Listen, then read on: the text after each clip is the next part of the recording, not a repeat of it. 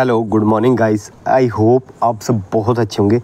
Let's begin with our current affair session आज है 20 सितंबर चलिए शुरुआत करते हैं अपने क्वेश्चन नंबर वन के साथ। सो so, आपको बताना है कि कौन से वेन्यू पे in New Delhi hosted the launch of PM Vishwakarma scheme ठीक है? तो वो वे, वेन्यू था International Convention and Expo Centre Yashobhoomi जहाँ पे प्राइम मिनिस्टर नरेंद्र मोदी ने पीएम विश्वकर्मा स्कीम लॉन्च करी थी, ठीक है? PM Vishwakarma at the International Convention and Expo Centre Yash Bhoomi in New Delhi on the occasion of Vishwakarma Jayanti ठीक है? जो कि थी आपकी 17 सितंबर को।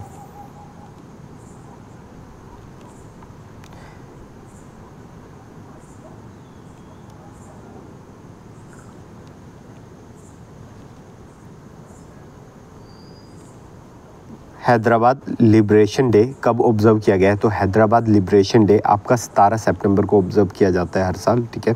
Union Home Minister Amit Shah ji ने होस्ट किया था national flag at a ceremonial programme at the parade ground in Secunderabad on the occasion of Hyderabad Liberation Day on 17 सितंबर 2023 इसके बारे में हम थोड़ी हिस्ट्री जान लेते हैं।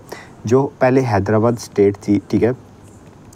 इंडिपेंडेंस के टाइम तो उस पर रूल उस टाइम जो रूल था वो निज़ाम का रूल था ठीक है? और उनका नाम था मीर उस्मान अली खान ठीक है? वो वाज इनिशली तो उन्होंने उनका क्या था कि उन्होंने जैसी भारत आज़ाद होता है तो उन, मना कर रहे थे इंडिया को ज्वाइन करने से ठीक है? After India gain independence from the British colonial rule in 1947 और his effort to maintain independence led to और उनका था कि मैं मैं इंडिपेंडेंट रहूँगा तो उनके जो डिसीज़न था, मैं इंडिपेंडेंट रहूँगा। उसके कारण क्या था कि इंडियन गवर्नमेंट और निज़ाम के बीच कुछ स्टैंड ऑफ़ चल रहा था, ठीक है? फिर इनिश, उसके बाद ये होता है कि हैदराबाद को इंटीग्रेट करने के लिए इंडिया में, ठीक है इंडियन गवर्नमेंट ने एक मिशन लॉन्च किया और उस मिशन का नाम था ऑपरेशन पोलो तो ऑपरेशन पोलो आप मिशन ध्यान रखिएगा, ठीक है?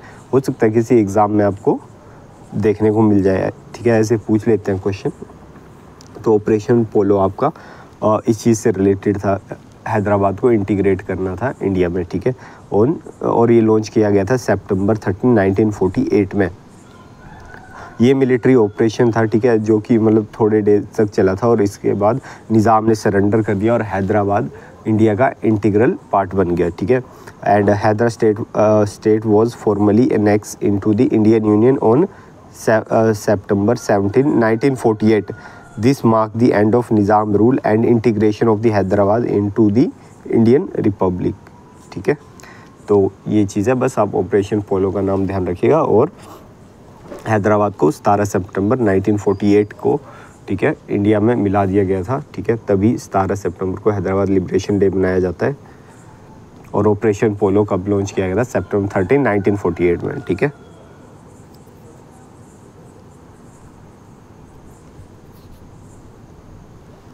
Ministry of Environment, Forest and Climate Change ने सेलिब्रेट किया था।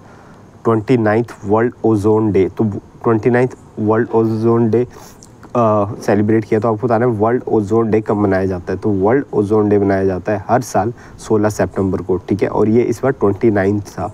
और ये मनाया क्यों जाता है? ये इसलिए मनाया जाता है क्योंकि इस दिन मॉन्टेरियल प्रोटोकॉल साइन हुआ था, जो कि एक इंटरनेशनल एनवायरनमेंट ट्रीटी है for the phasing out production and consumption of ozone depletion substances that come into the force on the day in 1987 ठीक है? 1987 में फोर्स में आए थे ये ट्रीटी तो इसी को सेलिब्रेट करने के लिए ये वर्ल्ड ओजोन डे मनाया जाता है, ठीक है? इस बार की थीम है Montreal Protocol fixing the ozone layer and reducing climate change ठीक है।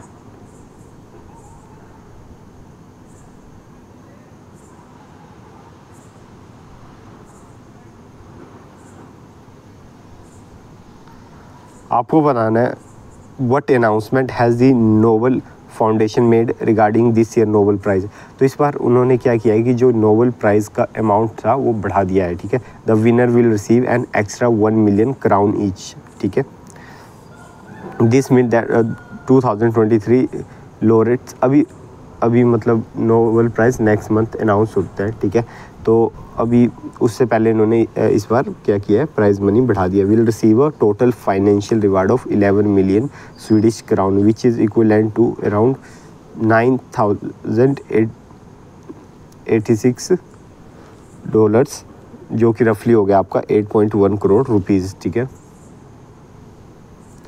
This year Nobel Prize winner will be announce next month the laureate will be then invited to the receive their award at prize ceremony on the 10th of December, which is the anniversary of the award founder Alfred Nobel death in 1896 तो ये बात कह रहे हैं कि जो मतलब Nobel Prize next month announce हो जाएँगे, तब हम डिस्कस कर लेंगे। और जो नोबल प्राइज़ अनाउंस तो नेक्स्ट मंथ हो जाएँगे लेकिन जो अवार्ड मिलेगा, वो 10 दिसंबर को दिया जाता है, जिस दिन एल्फ्रेड नोबल की, जिनके नाम पे नोबल प्राइज़ मिलता है डेथ एनिवर्सरी होती है, ठीक है 1896 में। उनकी डेथ हुई थी तो उनकी जो डेथ है ठीक है, उस दिन टेन दिसंबर को हुई थी तो उस मौके पे ये अवार्ड दिया जाता है, ठीक है।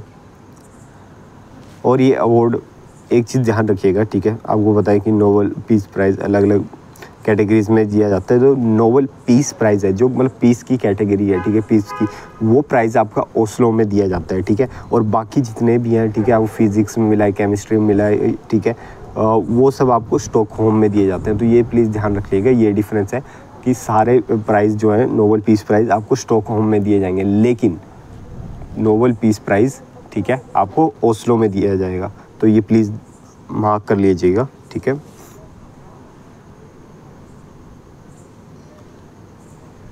What is the new name of Udhampur railway station in the union territory of Jammu and Kashmir तो उधमपुर रेलवे स्टेशन का नाम चेंज करके रख दिया गया है captain Tushar Mahajan railway station ठीक है? और in the connection function was organise at the Udhampur railway station where in the presence of union minister doctor Jitendra Singh Udhampur railway station was rename at the captain Tushar Mahajan railway station ठीक है? Captain महाजन ये उधमपुर से थे ठीक है? और ये officer थे नाइन पैरा के ठीक है? आपको बता रहा para commando special force Indian army की ठीक है? तो who laid down his life while defending the country during the Feb 2016 terror attack on the Jammu and Kashmir entrepreneurship development institute building in the south Kashmir Pulwama district ठीक है? तो इन्होंने up, अपनी country के लिए supreme sacrifice किया है ठीक है? तो अभी इनके नाम पे रेलवे स्टेशन का नाम रख दिया गया है।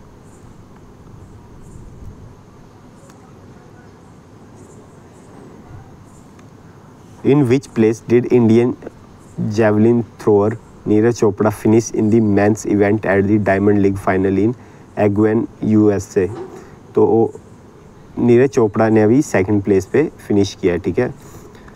और उनकी थ्रो थी इस बार 83.80 मीटर की, ठीक है?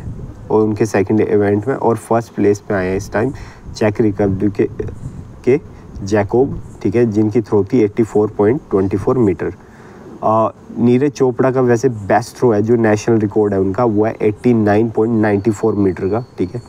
वो ना world champion silver medal at this और लास्ट ईयर भी उन्होंने इस सेम प्लेस पे वर्ल्ड चैंपियनशिप जीती थी सिल्वर मेडल जीता था at is same venue last year with an 88.13 metre efforts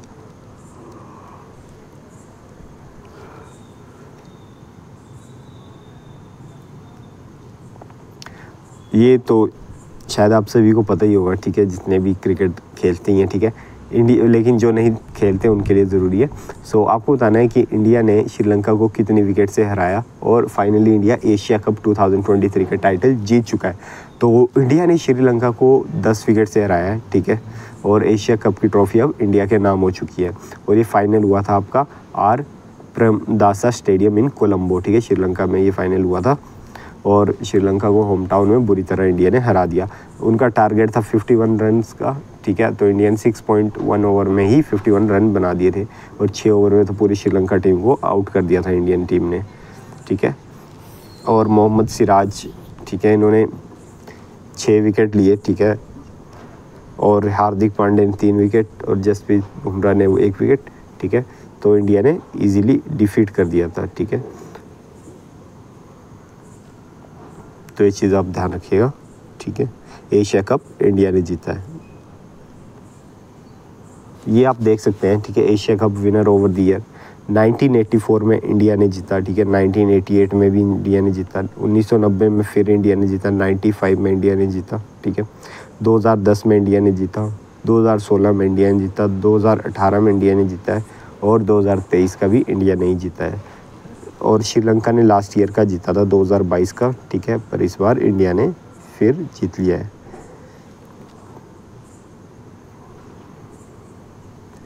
In uh, which format of cricket did Rohit Sharma achieve the milestone of completing 10,000 run तो Rohit Sharma um, ने भी दस हज़ार रन पूरे कर लिए हैं किसमें ओडीआई क्रिकेट में ठीक है? और ऐसा करने वाले रोहित शर्मा सिक्स बैटर बन गए फ्रॉम दी फ्रॉम इंडिया ठीक है? And fifteen overall to complete ten thousand run तो इंडिया से ये सिक्स पर्सन uh, बन चुके हैं ओडीआई में जिनके दस हज़ार रन है ठीक है? और ओवरऑल अगर पूरे मतलब क्रिकेट में देखा जाए तो फिफ्टीन प्लेस पे है ये, ठीक है? Rohit completed his ten thousand run in इन्होंने कितने? 241 इनिंग्स में ये कंप्लीट करें जो कि सेकंड फास्टेड है फास्टेस्ट है एवर आफ्टर कोहली डेढ़ सो इन 205 इनिंग तो कोहली ने ये काम 205 इनिंग में कर दिया था, ठीक है? और रोहित शर्मा का भी फास्ट ही है तो इन्होंने भी 241 में कर दिया था। और आपने अभी लास्ट वीक डिस्कस किया था कि विराट कोहली ने भी स्कोर करा है. Fastest thirteen thousand run in ODI was the fastest to scroll the milestone ठीक है?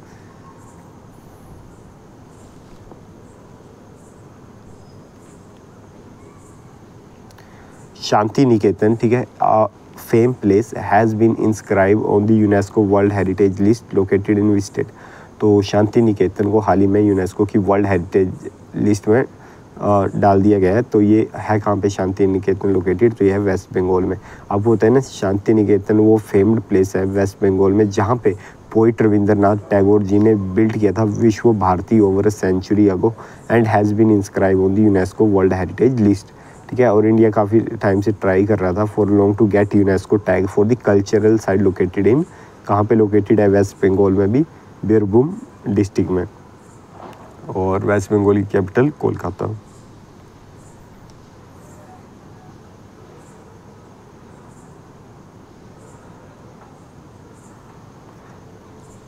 How many coastal states and union territory were involved in the beach cleanup drives organized by the Ministry of Earth Sciences. तो Ministry of Earth Sciences ने ठीक है जो एक campaign launch किया था उसमें एट कोस्टल स्टेट और फोर यूटीज़ ने पार्टिसिपेट किया था ठीक है और ये ऑर्गेनाइज कराया था मिनिस्ट्री ऑफ़ अर्थ साइंसेज ने बीच क्लीन अप ड्राइव ठीक है? Eight 79 location in eight coastal states and four UTs of the country 16 और सतारह सितंबर तक ये चला, ठीक है?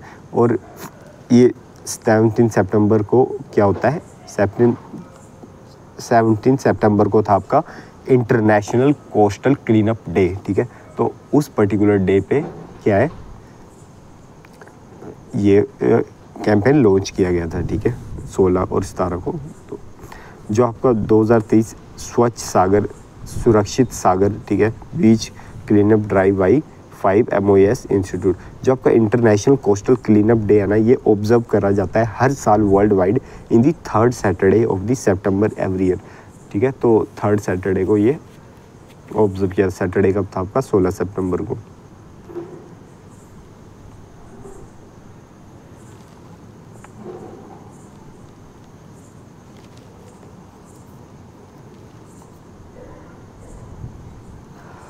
So guys I hope you like this lecture मिलते हैं नेक्स्ट करंट अवेयर सेशन में. तब तक टेक केयर